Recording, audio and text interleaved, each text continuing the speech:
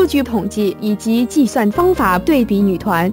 文章末尾放女团品牌价值榜 Top 十，欢迎阅读。话不多说，我们正式开始。Top 十，Stray Kids，恭喜麋鹿弟弟们终于上榜啦！表示有生之年能够看到酱油评家的男团再次崛起，真的不要太困难。一贯火女团不火男团，让酱油亭被外界戏称为阴盛阳衰。好像从 2PM 之后，酱油亭在男团的发展道路上就一点也不顺了。小搞基虽然个人非常喜欢，但还是要承认，在韩国他们的确不算是大爆的男团。虽然人气一直处于上升期，但还是海外人气远远大于韩国。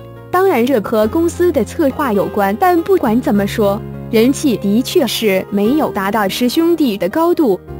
所以能够在榜单上看到麋鹿弟弟们，真的太开心了。Top 九，BTOB。兔比作为一个三代团，能够成绩如此亮眼，也真的是非常亮眼了。当年一众三代团真的赶上了 ISU 大爆，导致出道一直不顺。这么多年，兔比团终于是人气渐渐上来了，才开始真的是只知道陆星材一个人。后来慢慢通过南韩四大独团，对兔比有了更深一层的了解。果然，独团这种称号不是每一个人都能够撑得起的。Top 八，Icon，Icon 也上榜啦！恭喜！每一次盘点到 iQUON 在的榜单，总要感慨一遍金韩彬的颜和创作能力，真的太喜欢金韩彬了。长相、声音，统统都是取向狙击，真的当年练习生时期被金韩彬一个笑圈的死死的，怎么会有笑起来这么好看的男孩子？表示歌都超好听的。给金制作人打 call。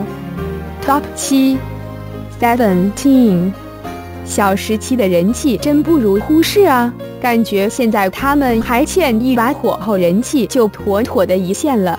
现在韩娱圈除了双蛋晚下来就是小时期了，人气是真的高，在日本出道的成绩也非常好。现在。